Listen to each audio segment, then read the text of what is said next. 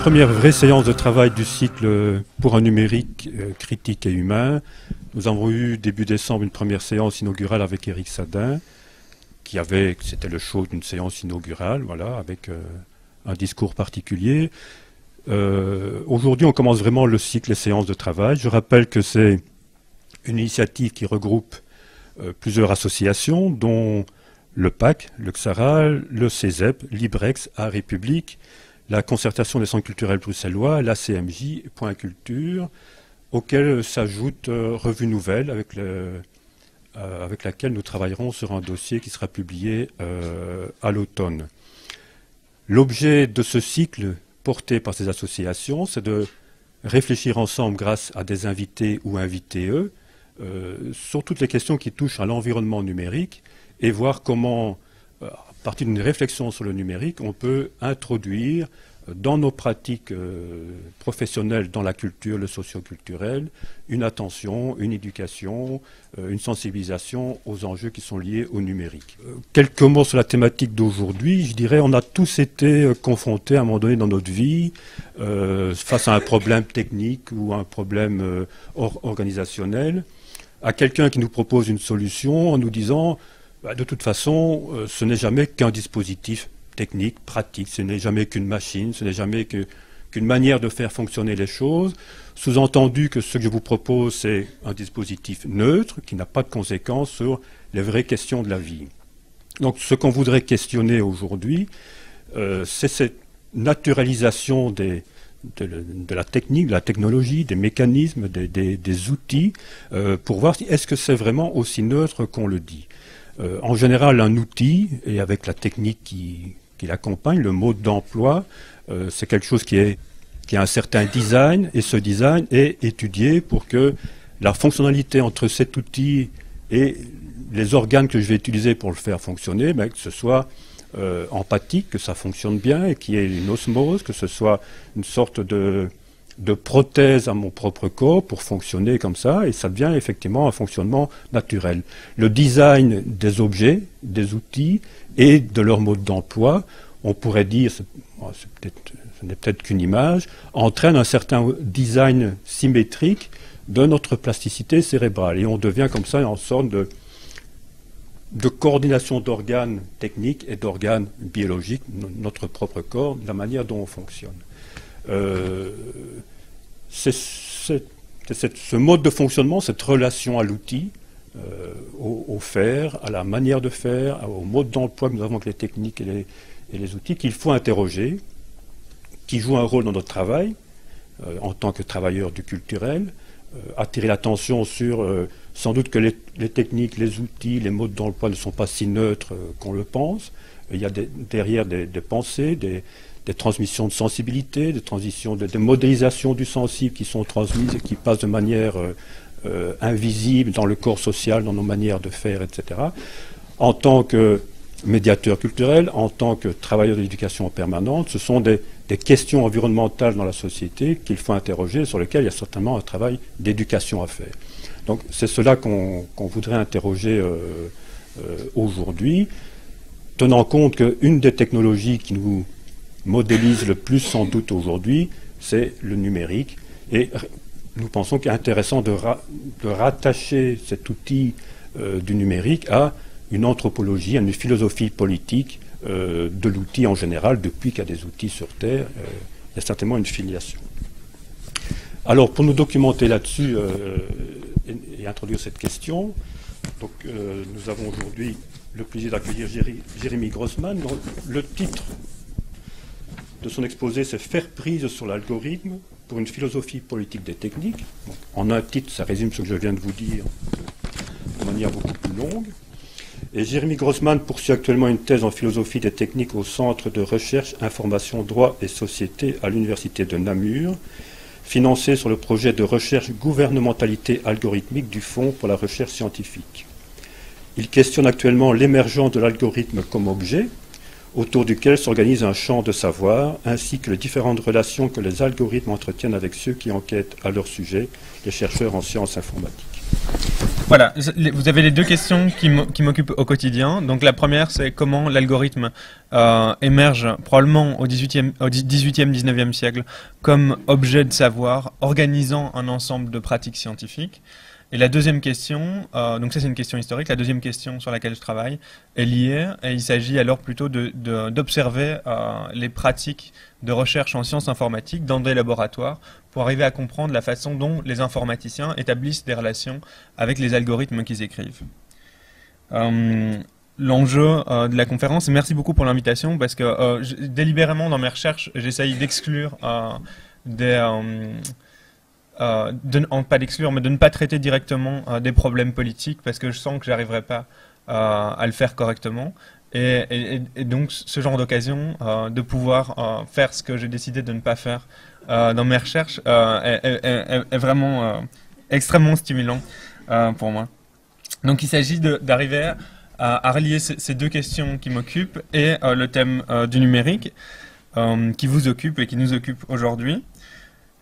Alors, c'est pas une catégorie que j'utilise euh, généralement, le numérique. En, anglais, il parle de digital. Euh, j'utilise pas trop digital non plus. J'ai l'impression que pour moi, la façon dont, je conçois le numérique, ça pointe en direction euh, d'un problème, d'un problème sociétal, et on, sent qu'il y a un ensemble de médiums, de médiums techniques qui apparaissent euh, et dans nos vies depuis euh, la Seconde Guerre mondiale, mais surtout depuis euh, la fin des années 90, et qui transforment nos habitudes, qui affectent nos, comportements et qui perturbent nos pratiques. Et donc pour moi, c'est ça dont le numérique est le nom. C'est un, ensemble de transformations dans nos vies quotidiennes. Et c'est comme ça que je vais le prendre. Et si on essaye de, donner corps un, peu à cette notion, alors on se rend compte qu'il y a plein de choses différentes. Il y a donc tous les terminaux sont les serveurs, euh, les PC portables, euh, les GSM, euh, les câbles, les protocoles de communication, les bases de données, les algorithmes, les systèmes d'information, tout ça, c'est ce qu'on regroupe sous le label du numérique. Et, moi, ce que j'étudie plus précisément, et donc c'est ça que je vais essayer d'articuler au numérique aujourd'hui, c'est l'algorithme. Donc j'ai décidé de, me concentrer sur deux notions et d'essayer de les faire communiquer. La notion de culture et, euh, euh, la, notion d'algorithme. Donc j'entends culture ici de façon assez lâche. Euh, parce que c'est pas l'enjeu ici, et donc c'est un ensemble de normes de valeurs qui existent à un niveau collectif et qui nous permettent d'établir une relation à un ensemble d'objets ou de phénomènes dont on n'est pas spécialiste. C'est comme ça que je définirais la culture, la culture générale. Euh, c'est arriver à établir une relation à quelque chose dont on n'est pas spécialiste. C'est à ça que sert la culture. Et, euh, à, vivre ensemble en collectivité. Euh, alors, technique, non, algorithme, ça c'est l'analogie avec laquelle on peut commencer, mais qu'on doit rapidement oublier, et qu'on trouve dans la plupart des livres d'informatique, d'introduction à l'informatique, c'est l'analogie de la recette. Donc une recette, c'est avec ça qu'on apprend l'impératif à l'école primaire. Donc c'est un ensemble d'instructions il y, a une séquence, donc c'est la première chose. la première caractéristique serait des instructions impératives. La, deuxième, c'est ces instructions sont ordonnées. Donc on, prend la farine, on la met dans un pot, on met au four et on fait pas ça dans l'autre sens. Euh, et ensuite, l'enjeu euh, du procédé de la recette, évidemment, c'est d'arriver à produire euh, quelque chose, un cake, un plat, quoi. L'algorithme, on peut dire que dans une certaine mesure, c'est comme une recette. Donc on a une séquence d'instructions impératives qui doivent aboutir à un résultat.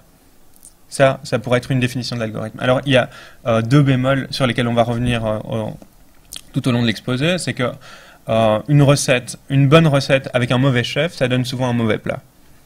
Et un algorithme, ça fonctionne à tous les coups. C'est ça la différence. Donc, un, algorithme, c'est formalisé. Si on veut être un peu plus exact, c'est une séquence abstraite d'opérations concrètes. Ce serait ça la définition. Donc, on a des opérations concrètes définies euh, de façon assez précise pour qu'elle puisse être exécutée par n'importe qui qui connaît ces opérations. Et donc n'importe qui qui exécute l'algorithme arrivera au bon résultat.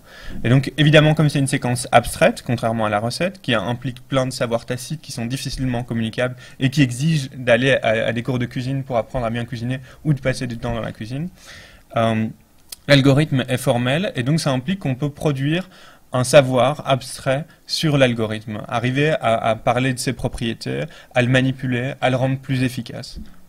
Donc ça serait la définition de culture et d'algorithme que je vais utiliser. Euh, l'exposé, je ne suis pas sûr d'arriver à parler 50 minutes, on verra bien. Euh, l'exposé euh, va comprendre trois parties. Donc là, je commence à installer un problème, je vais continuer un petit peu. Puis ensuite, je vais revenir sur l'algorithme et, essayer de montrer pourquoi je pense qu'on peut dire qu'il apparaît au 18 et 19e siècle. Euh, et ensuite, je vais terminer sur euh, euh, une note, à mon avis, un peu plus actuelle, en revenant, en essayant de, lier culture et algorithme au travers de la question de l'open source. Voilà, ça c'est le plan de l'exposé. Donc, comme vous voyez, il n'y a pas de slide et, tout ça, donc je vous conseille de noter le plan si vous êtes perdu un moment. donc, pourquoi euh, il serait intéressant de euh, parvenir à lier euh, d'une façon ou d'une autre culture et algorithme. pour répondre à cette question, je pense qu'on peut prendre une formulation plus générale du problème qu'on peut trouver chez Gilbert Simondon. Simondon, c'est un philosophe des techniques, un des rares philosophes des techniques, qui a écrit un livre, il me semble, c'est en 56, qui s'appelle Du mode d'existence des objets techniques. Et si on veut le point de départ de son livre, c'est que euh, les techniques sont exclues de la culture. Donc quand on parle de culture, on parle d'œuvres d'art le plus souvent, euh, on parle éventuellement d'une certaine culture scientifique, l'école est là pour ça, pour nous transmettre une, culture scientifique euh, de base, mais on, parle très rarement de culture technique. évidemment, il y a des musées d'objets techniques, mais on y va peu. Euh, ou alors quand, ceux auxquels on va, euh, je pense ici au musée du tram, euh, généralement c'est pas pour le, la façon et les, lignées de moteurs techniques qu'on peut trouver dans les trams, mais c'est plus une, relation d'usage, de folklore en, relation avec la ville de Bruxelles. Donc ça c'est une constatation. Les techniques sont exclues de la culture à un degré relativement important, plus que les sciences. Euh, maintenant, pourquoi est-ce que c'est un problème? Parce qu'on pourrait très bien dire euh, elles sont exclues de la culture, c'est très bien, on n'a pas besoin euh, de les incorporer dans la culture. Mais lui pense, Gilbert Simondon, qu'on a besoin de les incorporer dans la culture pour une raison bien précise.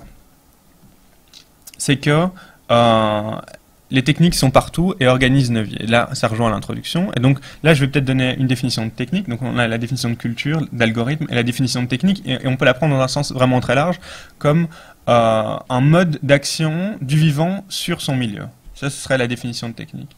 Et donc là-dedans, on aurait la centrale nucléaire. Euh, ce serait un mode d'action du vivant sur son milieu. On a le train, euh, on a le marteau, le couteau, les griffes, les ongles, euh, tout ça, ce, serait dans une certaine mesure des modes d'action du vivant sur le milieu, des stratégies de chasse pour arriver à coincer du gibier près d'une falaise, ce serait aussi euh, dans une certaine mesure un mode d'intervention du vivant sur son milieu. Donc ça c'est la définition de technique.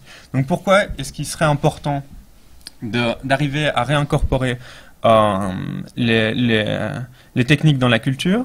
Eh bien, le problème se pose un, en fait de façon assez marxiste, euh, dans la relation euh, que les travailleurs ont aux objets techniques qui les entourent. Donc lui, il, pense en 50, entre les années 50 et, 60, et donc on est toujours dans une société euh, fortement industrielle.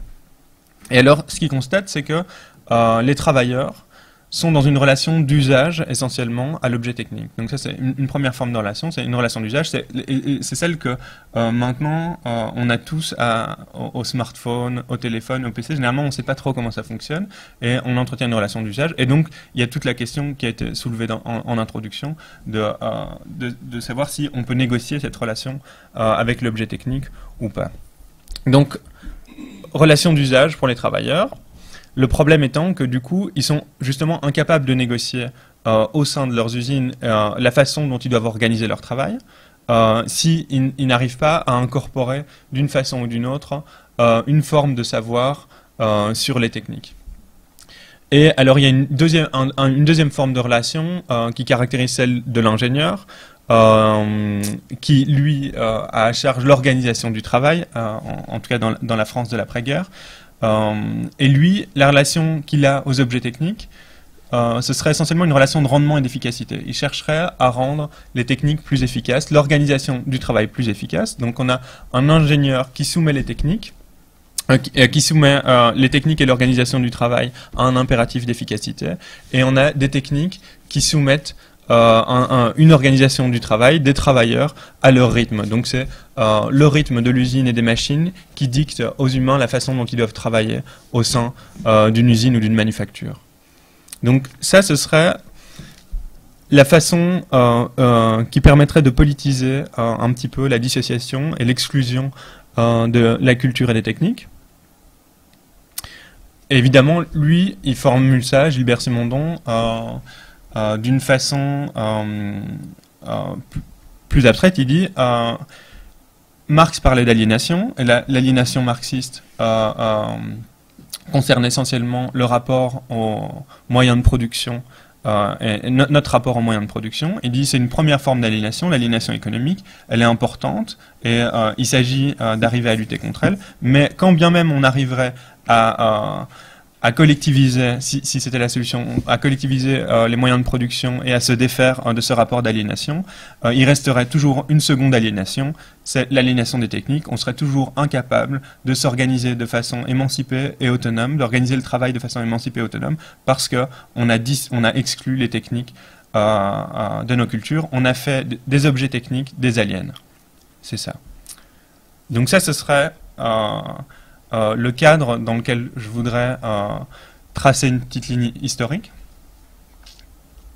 Et à ça, je rajouterais peut-être que euh, l'algorithme fournit un exemple particulier, plus précis, que ce cadre général, mais intéressant dans la mesure où souvent on le définit comme par définition, l'algorithme serait une boîte noire, quelque chose qu'on ne peut pas comprendre, qu'on ne doit pas ouvrir, et qu'on n'a même pas à ouvrir. Et même si on, arrivait à l'ouvrir, finalement, on n'en retirerait rien. C'est un peu le discours, euh, y compris euh, universitaire, euh, qu'on trouve. Et, je pense que c'est une grave erreur. Et, donc, j'espère qu'on va sentir ensemble pourquoi il serait important de contrevenir à cette attitude générale.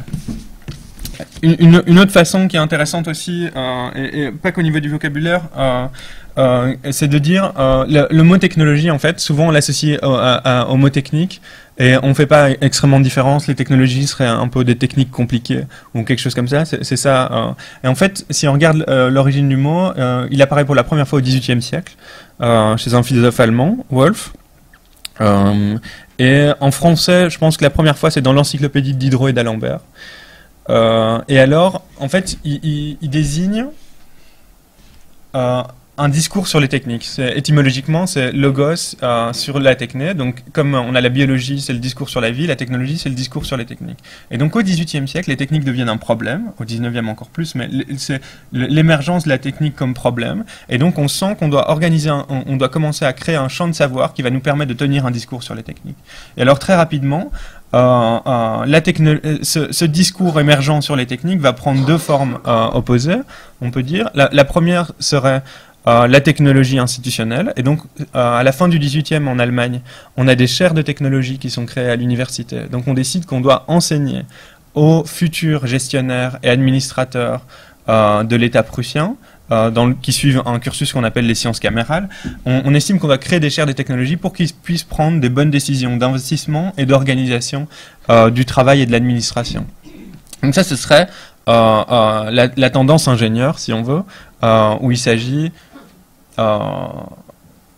toujours de penser la technique sur le mode de l'efficacité et dans, un, dans une certaine mesure avec un rapport de domination. Et alors, l'autre euh, lignée serait celle des encyclopédistes euh, de Diderot et d'Alembert, où l'enjeu essentiel de l'encyclopédie en tant que telle, euh, et là où elle, apporte vraiment quelque chose, c'est dans l'ensemble des planches de dessins techniques euh, où les, tâches artisanales vont être décrites dans l'encyclopédie. Et, le, le, but explicite de Diderot, qui lui-même est fils d'artisan, fils de coutelier, va être euh, de propager une culture technique et d'arriver à installer une culture technique euh, qui a pour but non pas la domination et l'efficacité, mais l'émancipation et la communication des savoirs. Donc si vous voulez, la technologie comme discours sur les techniques, dès le XVIIIe siècle, à partir du moment où il apparaît, euh, donne lieu à deux lignées.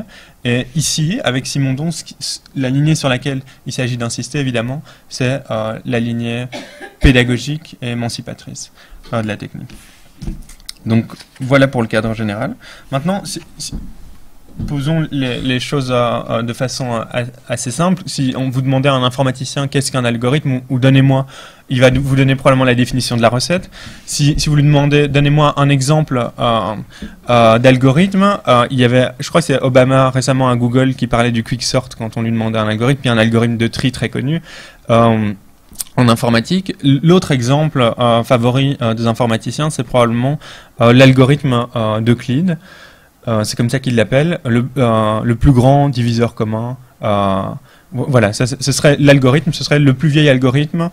Euclide l'aurait inventé. Si on ouvre le livre 10 ou 11 des éléments d'Euclide, on, trouverait dans les cinq premières propositions le développement de l'algorithme d'Euclide. Et alors là, il, suffit d'aller voir et, on, verra. Donc je propose, on, dans, maintenant je vais essayer de définir l'algorithme, on va, je vais essayer de on va revenir sur ça, dire tiens, qu'est-ce que ça implique de dire euh, dans la mythologie des informaticiens, le premier algorithme peut être trouvé euh, dans les éléments d'Euclide, dans les éléments regardons s'il s'y trouve, et s'il s'y trouve pas, regardons pourquoi il s'y trouve pas, et qu'est-ce qui s'est passé, pourquoi les informaticiens croient euh, qu'ils peuvent y trouver ce qui, n'y est pas en vérité. Dans une certaine mesure, en tout cas. ce serait le premier le premier point et puis il, va il va s'agir d'arriver à expliquer euh, ce qui s'est passé euh, au XVIIIe et XIXe siècle et qui leur permet de croire ça. Donc, euh, alors, je prends ça. Donc, si on revient au début, donc voilà, c'est ça. Donc, c'est oubliez ça pour l'instant. Donc, on, est dans les éléments d'Euclide on a un texte grec en fait. Hein. Il donc il n'y a pas d'espace euh, euh, ou un texte arabe. Euh, à la base c'est un texte grec, mais il nous est revenu comme texte arabe et puis comme texte grec. il n'y a, pas d'espace, il n'y a pas de, nombre. ok? Donc les nombres sont, représentés par des, segments de droite. Euh, non, on va, peut-être, en fait, on va peut-être inverser. On va, on, va, commencer par quelque chose que vous connaissez. Donc voilà, le plus grand commun euh, diviseur. Euh, donc soit vous vous en souvenez parce que vous avez une bonne mémoire, soit vous avez des enfants qui sont passés par là récemment. Vous avez 15 et 12. Vous notez tous les diviseurs. 1, 3, 5, 15 divise 15. 1, 2, 3, 4, 6 divise 12. On prend les diviseurs communs. Le plus grand c'est 3. Et donc le plus grand commun diviseur de 12 et 15 c'est 3. C'est clair? Donc c'est ça, c'est ça qu'il s'agit d'arriver à faire, et, c'est ça qui serait le plus vieil algorithme. Euh, évidemment, enfin oui, ok. Donc ça c'est la, version euh, école primaire. Donc et là ce serait un algorithme. Donc là c'est déjà pas évident qu'on ait un algorithme. En tout cas, on a une procédure, une méthode pour arriver à donner une, une réponse exacte à un problème posé. Ça c'est sûr. Est-ce que c'est un algorithme? C'est un peu moins sûr. Donc maintenant, si on voit les informaticiens, eux, quand on, leur parle du plus grand commun diviseur, eux, c'est ça qu'ils ont en tête. Donc ils n'ont pas en tête la méthode euh, qu'on a ici. Ils ont en tête une autre méthode qui aboutit au même résultat. Donc on a une fonction, on donne deux nombres. C'est pas important si vous comprenez pas. ça c'est euh, euh, du, du pseudocode et c'est avec ça qu'ils communiquent entre eux. Donc là c'est juste pour que vous sentez la différence des, des supports euh, et, ce qui se passe quand on passe d'un support à un autre, en fait, il y, a plein de choses qui, se passent, et, c'est très compliqué de dire que ça, c'est équivalent à ça, et c'est équivalent au segment que vous avez vu sur la première page. Donc ici, on a une méthode qui dit que tant que euh, A et B ne sont pas égaux, et euh, si A est plus grand que B, alors on soustrait B à A, et si A est plus petit que B, on soustrait A à B, et on retourne, une fois qu'on a fini le tout, la bonne réponse qui est A, et donc voilà, ça c'est l'algorithme de Clean. Ok, c'est une procédure qui donne le même résultat, mais qui est complètement différente de la précédente et qui est beaucoup plus efficace. Maintenant, si on passe à Euclide, comme je vous dis, on a un texte grec. On a, au départ, on n'a pas les diagrammes qui accompagnent le texte grec. Dans certains cas, on a une partie des diagrammes. Euh, il n'y a, pas de nombre et il y a juste euh, des segments qui sont représentés. Donc Euclide dit trace le segment AB, euh, on, soustrait du segment AB le, le, segment CD. Donc on n'a pas de nombre, on n'a pas de variable, on n'a pas de fonction. C'est toutes des choses qui n'existent pas chez Euclide. Et donc si on lit bien le texte d'Euclide et qu'on essaye euh, de, suivre un des exemples donnés, on arrive à ça. Donc on a deux segments, A, B, C, D. On soustrait les deux segments. Donc on prend le plus grand, on soustrait. On arrive à, il nous reste que ce segment-là, AE. Donc on reprend celui-là et le AE. On refait la même chose de nouveau. et là, on peut mettre AE deux fois dans C2, donc on soustrait deux fois. Il nous reste CF, et là, de nouveau, on reprend le AE ici et le CF ici, on le soustrait trois fois, et là, il ne nous reste plus rien, et donc CF est le plus grand commun diviseur des deux nombres que sont AB et CD. Ok? Donc là, vous avez une série de trois supports qui sont extrêmement différents et qui, a priori, ne sont pas équivalents. Donc voilà, ça c'est juste pour vous faire sentir la chose. En fait, il y a des arguments un peu plus historiques et, euh, euh,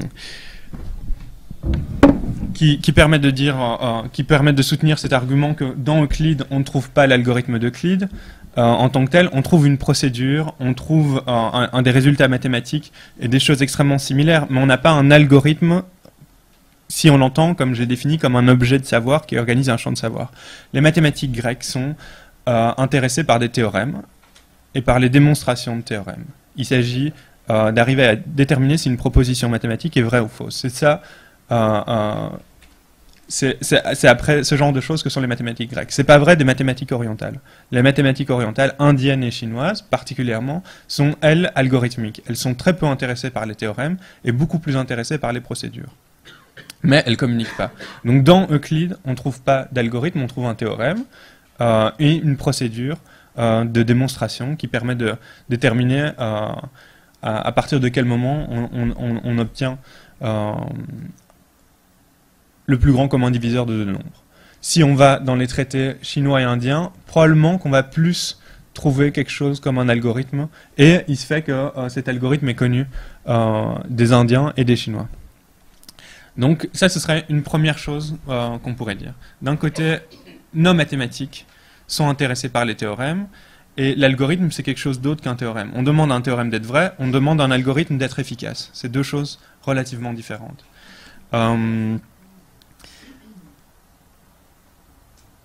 Ouais, on peut, je pense ça c'est, euh, on, peut, on, peut, en rester là euh, pour, pour cette différence. Disons que euh, c'est pas évident qu'on retrouve chez Euclide euh, un algorithme. Alors la question c'est pourquoi est-ce que les informaticiens pensent que ça y est? Évidemment qu'il y a une parenté forte, c'est le même genre d'objet qu'on touche, mais la façon dont on, établit une relation de savoir à l'objet est, radicalement changée. Donc si on veut euh, et de nouveau, là, je bâtis sur euh, l'histoire des mathématiques euh, anciennes et, modernes. Il y a une anecdote qui, qui est assez souvent racontée et qui concerne Gaspard Marie Rich Claire de Prony. Donc, c'est une personne qui est un ingénieur français du 18e, très important, qui euh, dirige le bureau du cadastre à l'époque. Donc il faut vous imaginer, euh, dans la France fin 18e, il y a une révolution euh, qui a eu lieu. Il décide d'instaurer un nouveau système de mesure. de nouveau, les systèmes de mesure, c'est extrêmement important d'un point de vue politique parce que le cadastre en dépend. les routes maritimes en dépendent aussi. Donc, si on veut être capable d'avoir des routes commerciales efficaces, il faut être capable d'avoir des cartes de territoire, de prendre des mesures, de s'orienter sur la mer pour lever l'impôt, l'impôt dépend euh, de, la superficie des terres possédées, donc il faut arriver à mesurer hein, les superficies. Et donc pour ça, on a besoin d'unités de mesure uniformisées. Et donc c'est ça qu'on fait après la Révolution française, on crée le mètre, on crée le kilo, et on décide euh, de diviser l'angle. Nous, on, on, connaît un angle de 360 degrés, mais donc pendant 10 ans en France, ils ont essayé de faire un angle divisé en 100 parties. Et donc de Prony, le, problème qu'il y a avec tout ça, c'est qu'il faut recalculer une série de tables. Donc imaginez, vous êtes marin, vous devez prendre des mesures pour déterminer votre position vous, regardez le ciel, vous mesurez les distances angulaires entre les étoiles, et puis vous, si vous prenez une heure pour faire vos calculs, vous avez déjà bougé et vos mesures sont, sont, plus correctes. Donc il faut que les calculs aillent vite. Donc comment on fait pour que les calculs aillent vite? On a des tables de calcul qui sont déjà faites, donc des grandes tables de calcul, et euh, qui permettent du coup d'effectuer plein d'opérations beaucoup plus rapidement. Le problème, quand on change le système de mesure et quand on, on divise un angle non plus par 300, en 360 bouts, mais en 100, eh c'est qu'il faut recalculer ces tables. Et donc, c'est des tables massives. Donc, euh, si vous allez à, à- je crois que c'est l'école des mines de Paris. Ah, je, crois que c'est les mines à Marne-la-Vallée. Euh, et je crois que c'est la, taille euh, des 10 tomes de table, c'est ça, juste pour euh, les mesures d'angle. Donc des, gros formats. Et alors, on, veut évidemment que ces calculs soient précis. Donc ça veut dire une vingtaine de, de chiffres après la virgule. Donc il faut tout remesurer et recalculer. C'est un travail immense. Donc De Prony, qu'est-ce qu'il fait? Il décide qu'il peut pas faire ça tout seul et qu'il va diviser le travail computationnel. Donc tous les petits calculs, il décide qu'il va le diviser. Euh, comme Madame Smith a parlé de division du travail, comme la division du travail avait déjà lieu dans certaines manufactures au, au XVIIe siècle. Donc il, il reprend cette idée de division du travail, il dit je vais diviser non plus le travail physique, mais le travail computationnel. Et donc, si vous voulez, il crée une équipe de gens. Donc lui, c'est un grand mathématicien, un grand ingénieur français. Il, va prendre sous, euh, lui trois autres euh, mathématiciens qui vont aussi devenir euh, de grands mathématiciens du 19e siècle. Et ensuite, en dessous, il va y avoir. Alors, la légende dit que ce sont des, coiffeurs, parce que la mode capillaire aurait changé, et donc les, gens se seraient laissés pousser les cheveux, et, et donc les coiffeurs se seraient retrouvés à la rue et sans travail.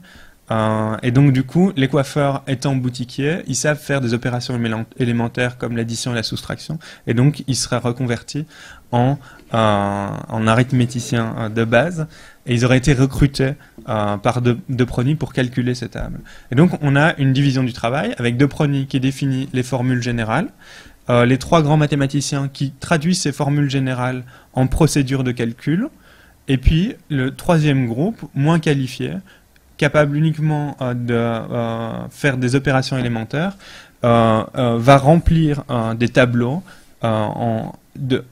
avec les résultats d'opérations de plus et de moins qu'ils font. Ces tableaux vont ensuite être redirigés vers une personne qui va refaire des additions et des soustractions jusqu'à arriver au résultat, et puis on recopie le résultat dans les tables finales. Donc ça, ce serait la première division ou la première grande division euh, euh, du, travail computationnel. Et donc ce qui est intéressant, il me semble, là-dedans, c'est que avant, il faut imaginer des, grands mathématiciens avec des capacités de calcul assez importantes, euh, de calcul mental ou de calcul écrit. Et donc, quand on travaille seul, on, utilise plein de raccourcis. Tout le monde a ça. Même si on n'est pas des grands mathématiciens, quand on calcule, on fait du calcul mental, on utilise plein de raccourcis. On, on formalise pas l'ensemble des opérations et, ça permet d'aller plus vite. Et, euh, les grands mathématiciens, forcément, comme ils, ont cette habitude, ils le font encore plus euh, que, n'importe quels autres individus. Maintenant, le fait que le travail co- computationnel soit trop grand et qu'on ait eu besoin de le diviser, ça a obligé euh, des mathématiciens, pour la première fois, à coucher sur papier euh, et à détailler une procédure efficace euh, jusque dans ces opérations les plus élémentaires. Et donc, si on veut, c'est la première fois euh, qu'une procédure de calcul complexe était matérialisée à proprement parler, sur du papier, sur des tableaux qui devaient circuler dans un espace, aller d'un bureau à l'autre pour être rassemblés, réadditionnés, des choses comme ça. Et donc, si on veut, évidemment, quand on est un, calculateur de génie, on, a peu d'utilité au départ, au XVIIIe siècle, pour euh, euh, euh, l'automatisation du calcul, parce que ça prend trop de temps, on, on spécifie l'opération, ça va plus vite quand on le fait nous-mêmes en, écrivant des notes intermédiaires sur le côté. Maintenant, le fait que cette procédure s'externalise, ça fait qu'elle peut devenir, et se matérialise, elle peut devenir en elle-même un objet de réflexion. On l'a devant nous. Donc on peut la manipuler. Elle a un schème euh, technique qu'on peut se représenter. Elle passe à tel bureau, tel bureau, tel tableau. Et donc on, on- on peut arriver à euh, calculer le nombre d'opérations nécessaires pour produire un résultat final. Donc on peut dire, euh, voilà, il faut 50 opérations ou 150 opérations. Cette procédure est plus efficace qu'une autre. Et là, on voit de quelle façon l'algorithme émerge à proprement parler comme un objet technique qui devient un, objet à partir duquel et sur lequel on va construire des savoirs et organiser un champ de savoir. Et donc si on reste avec, avec Euclide, ce qui est intéressant, c'est que la procédure d'Euclide est, très connue partout en mathématiques, bien avant le 19e siècle. Mais la première fois qu'on va essayer de mesurer l'efficacité de la procédure d'Euclide de façon exacte, c'est au 19e siècle. C'est la première fois qu'on dit un algorithme, et donc mesurer l'efficacité d'un algorithme, on appelle ça la complexité en, théorie de l'informatique. Et donc on dit quelle est la complexité de l'algorithme d'Euclide. La première fois qu'on pose cette question et qu'on donne une première approximation, c'est au 19e siècle. C'est un ingénieur français, euh, Gabriel Lamé, euh, qui le fait. Donc il, me semble qu'il y a une série d'éléments et euh, de tournants qui sont pris entre le 18e et le 19e siècle qui permettent euh, d'affirmer que, en effet, des procédures de calcul existaient avant, mais elles n'étaient en aucun cas un problème autour duquel des savoirs s'organisaient. Et il s'agissait de les utiliser, de les améliorer, dans une certaine mesure, euh, mais en aucun cas on essayait de prouver leur correction, de prouver leur efficacité. Et donc ce serait ça euh, l'émergence de l'algorithmique, à proprement parler. Donc maintenant, c'est parfait. maintenant, euh, qu'on sait euh, ce que c'est un algorithme, qu'on a posé euh, le problème plus général, j'aimerais prendre, pour terminer l'exposé, la question de l'open source, et plus généralement du code source et de, l'échange de code source. parce qu'il me semble que ce problème plus contemporain nous permet de faire un lien entre culture, technique et enjeux politiques. Donc on, peut prendre un, fait assez brut qui est que euh, l'open est partout. On parle d'open data, euh, d'open source, d'open access. Euh, donc il y a une, vague open depuis les années 90-2000. la question à, n'importe quel historien des sciences ou des techniques qui se pose est pourquoi c'est pas arrivé avant? Qu'est-ce qui fait que ce discours sur l'ouverture et l'accès euh, au savoir technique ou au savoir en général, euh, est explosé. Il y a une inflation de ce discours euh, uniquement depuis les années 80, 90, 2000. Parce que si on regarde un petit peu, j'ai déjà mentionné l'encyclopédie Diderot et d'Alembert, c'est exactement ça. Donc c'est arriver à, rentrer dans les corporations et, dans les chez les artisans qui gardaient leurs secrets de fabrication, arriver à dessiner leur procédure de fabrication, écrire des articles dessus pour les, mettre au, grand jour. Donc il y a déjà ce discours. Si vous lisez les articles qu'écrit Diderot sur l'artisanat, sur les techniques, euh, c'est extrêmement clair que c'est ça l'enjeu de l'encyclopédie. Si vous allez plus loin encore, euh, euh, avec la, création des premières sociétés scientifiques en Angleterre, en France, en Allemagne, tout l'enjeu est également de rendre accessibles les connaissances. Donc il y a déjà des discours existants dans le domaine des sciences, dans le domaine des techniques, sur le fait de il faut rendre accessibles les connaissances. La question c'est pourquoi est-ce que ça n'a pas pris de façon aussi considérable que maintenant, euh, euh, depuis euh, les années 70 Alors de nouveau, là il faudrait travailler pour raffiner cette, hypothèse historique, et, ça c'est encore à faire, mais j'ai l'impression qu'elle est suffisamment robuste que pour pouvoir être exposé, il y a quelque chose, ça ce serait l'hypothèse, qui s'est joué euh, dans, dans, le, dans le code informatique lui-même, qui a activé une nouvelle possibilité de communication qui n'existait pas avant dans d'autres techniques. Et donc là, je vais revenir. Premier slide.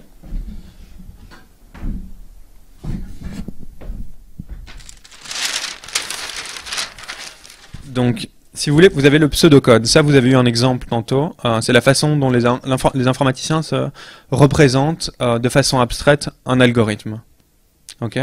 Donc vous avez un pseudocode. Qu'est-ce qui se passe? Une fois que vous avez l'idée du schème technique, c'est ça le pseudocode, euh, de l'algorithme en question ou du système informatique, vous devez l'implémenter. Donc le pseudocode, il est indépendant de n'importe quelle machine, de n'importe quel langage.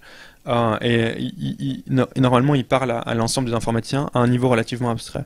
Il faut l'implémenter. Pour ça, on écrit du code source. Le code source, en gros, c'est la même chose que du pseudocode, sauf qu'il doit coller à une grammaire assez précise qui dépend d'un langage. Ensuite, le code source, il parle pas à la machine. Si vous donnez du code source à la machine, elle est incapable d'en faire quoi que ce soit. Donc il faut traduire ce code source en code binaire, et à, partir du moment où la machine reçoit le code binaire, eh bien, elle pourra en faire quelque chose, exécuter le programme.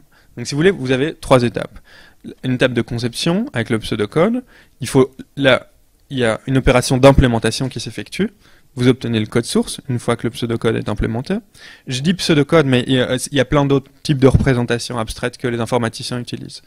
Euh, pseudocode, c'est vraiment pour les algorithmes, sinon quand on parle de gros programmes ou de gros systèmes, c'est autre chose. Euh, donc on implémente le pseudocode, et puis alors ici, on compile ou on interprète pour obtenir euh, le code binaire. Donc on a deux opérations, trois états. Euh, ce qui est intéressant, c'est que, il, me semble, la singularité du code source, c'est que cette opération-ci, cette traduction est très très simple. Donc, on, lit, ça se lit de la même façon. N'importe qui qui connaît un langage de programmation sait lire le pseudocode et, et, vice versa. Donc, il y a quasi la, traduction, c'est presque du mot à mot. C'est très simple de passer de l'un à l'autre. Et ici, la traduction, elle est automatisée largement par des logiciels qu'on appelle des interpréteurs ou, euh, des compilateurs. Donc ça, c'est assez compliqué techniquement. Il y a peu de gens qui savent euh, dans le détail comment ça fonctionne. Euh, mais disons que du coup, ce qui est intéressant, c'est que là, la traduction est minime. Et ici, ce qui permet de construire un exécutable est automatique. Si on prend n'importe quelle autre pratique technique, l'architecture. On pourrait dire ici, ça correspond, le pseudocode euh, correspond d'une certaine façon au programme, au discours, aux intentions euh, euh, de l'architecte. Le code source, alors ça correspondrait plutôt au plan, à l'ensemble des plans, des coupes qui fournit, et aussi éventuellement du cahier de charge extrêmement précis sur les matériaux à utiliser qui va donner aux entrepreneurs. et alors, le code binaire, ce serait euh, d'une certaine façon, euh, le bâtiment lui-même réalisé. On remarque entre le discours, les plans et le cahier de charge, là la traduction est déjà beaucoup moins évidente euh, pour l'architecte. Et alors, pour la, réalisation à proprement parler, du code source au code binaire, donc de l'ensemble des plans et du cahier de charge au bâtiment effectif, là aussi il y a plein de choses qui se passent qui ne sont pas formalisées. Donc dans les deux cas, les traductions d'un niveau à l'autre, implique une foule de savoirs précis, locaux, euh, qui dépendent euh, d'apprentissages euh, complexes et tacites qui doivent être faits en étant sur le chantier. On donne jamais à, quelqu'un qui a jamais fait de chantier, on lui, lui donne jamais la responsabilité du chantier tout entier. Il doit d'abord passer du temps à, aux côtés d'autres personnes pour apprendre. Pareil pour les architectes, c'est tout le rôle du stage d'architecte en plus des 5 ans d'architecture. C'est aussi ça, c'est d'arriver à communiquer un ensemble de savoirs qui sont pas formalisables. L'algorithme, par contraste, comme j'ai dit au début, c'est un être formel. Ok, c'est quelque chose d'extrêmement formel. Euh, et en plus, on peut, dans une certaine mesure, euh, l'implémentation est assez facile et la, traduction est minime. Et, euh, et, la, compilation est automatique. Donc on, voit que si, si on se situe au niveau de l'informatique, on a un être technique très particulier qui autorise une, implémentation rapide et une écriture, euh, une implémentation, une compilation rapide et accessible. Et si on se situe dans un autre domaine technique, celui de l'architecture, on voit que ces étapes sont autrement plus complexes. Alors, maintenant, en quoi ça concerne l'argument de l'open source, cette façon dont fonctionne euh, l'essentiel euh, des développements logiciels? Euh, et, comment cela pourrait expliquer que l'open source, puis c'était ça euh, la, deuxième question euh, de, laquelle nous partions, comment cela pourrait expliquer que le discours sur l'open est explosé à, partir des années 70 quand il a commencé à exister en informatique, alors qu'on, comme on l'a vu, il y avait d'autres instances de, de, même type de discours qui existaient bien avant. L'explication, elle serait là-dedans, c'est que dans les communautés techniques essentiellement américaines, essentiellement américaine, euh, eh bien, il y a eu énormément d'échanges de code source. Donc, et, là, je, je, prends pas une, de position politique sur l'open, le gratuit et, des choses comme ça. Donc, si on prend euh, le père de Linux, Euh, donc Linux, c'est un système de distribution open source. Si on prend le père de Linux, c'est Unix. Unix a été créé par les laboratoires Bell, donc c'est la, plus grosse industrie de télécommunications américaine, avec sept prix Nobel, énormément, euh, énormément un, énorme laboratoire privé. Ils avaient l'ensemble du système téléphonique américain, et on a, cassé leur monopole fin des années 80. Bref, donc dans les laboratoires Bell, vous avez Unix qui est développé, donc le père de Linux, et il est vendu commercialement, mais quand on le vend commercialement, on donne en même temps le code source. Et donc ça autorise aux gens qui l'achètent de le modifier. Et donc les gens s'échangeaient les modifications de code source qu'ils faisaient, ils renvoyaient au laboratoire Bell euh, les modifications d'Unix, elles étaient incorporées, et donc on a des pratiques d'échange de code source qui se passent le code source est réutilisé, la, nouvelle version réincorpore euh, plein de choses. Et il me semble que ces pratiques d'échange, euh, qui vont devenir ensuite des pratiques collaboratives plus politisées, euh, fin des années 70, début des années 80, sont rendues possibles par les caractéristiques même du médium technique qui nous occupe, à savoir l'algorithme et le code source. C'est parce que l'algorithme est formel, parce que le code source euh, une implémentation, permet l'implémentation de l'algorithme avec des traductions minimum. Et c'est parce que on peut directement construire le logiciel en appuyant sur un clic pour le compiler. C'est pour toutes ces raisons que échanger du code source, c'est extrêmement euh, extrêmement facile et ça s'est organisé de façon assez naturelle au sein d'une communauté scientifique qui par ailleurs possédait déjà cet idéal d'ouverture euh, et, et d'échange des savoirs. Et maintenant, et, là, ce serait peut-être une critique par rapport à l'ensemble des discours, du coup, euh, sur, sur la collaboration. Non pas qu'il faille pas collaborer, mais euh, croire qu'on va arriver à exporter ce qui s'est passé dans les années 70 et ce qui continue de se passer à une beaucoup plus grande échelle maintenant, dans les pratiques d'échange de code source informatique, et croire qu'il suffirait de dire c'est une bonne idée, appliquons-le ailleurs, c'est négliger le fait que ça arrive dans un contexte extrêmement particulier. Et si on regarde en fait les deux autres succès, il me semble, hein, euh, des pratiques collaboratives, c'est un, euh, Wikipédia, dans une certaine mesure. Euh, et, je dois dire que Wikipédia, ça fonctionne essentiellement et, ça, c'est aussi quelque chose qu'on voit pas. Ça fonctionne essentiellement pour retrouver des informations dont on sait qu'elles existent. Ça, c'est une chose. Et des, choses très factuelles, souvent. Mais si vous, si vous allez sur l'article thermodynamique ou régulation ou feedback sur Wikipédia, en français, souvent, ils sont assez mauvais d'un point de vue pédagogique. Ils, ils contiennent rien de faux, mais pédagogiquement, c'est impossible de lire l'article dans son entièreté et de l'avoir compris. Et, c'est la, grosse différence avec les autres anciennes encyclopédies. Si vous ouvrez Universalis euh, ou Britannica, généralement l'entrée est construite de façon telle qu'en la lisant, vous avez une idée relativement claire euh, de ce qui s'est passé. Donc ça fonctionne dans une certaine mesure pour Wikipédia, les pratiques collaboratives. Euh, et alors, l'autre, là où ça a véritablement fonctionné, c'est en cartographie, avec OpenStreetMap. Il y a eu des événements, dès qu'il y a eu des tremblements de terre euh, récemment au Népal ou à Haïti, euh, il, y il, y a, plus longtemps, on a vu des géographes amateurs se connecter massivement sur ces plateformes et améliorer les cartes. Et de nouveau, là, on a affaire à quelque chose d'assez localisé parce que la cartographie, c'est une pratique extrêmement formalisée est relativement simple d'accès euh, puisqu'on parle en termes de coordonnées. Et donc on voit que de nouveau, on a des caractéristiques formelles euh, qui laissent supposer que euh, ça a bien fonctionné en partie pour ces raisons-là.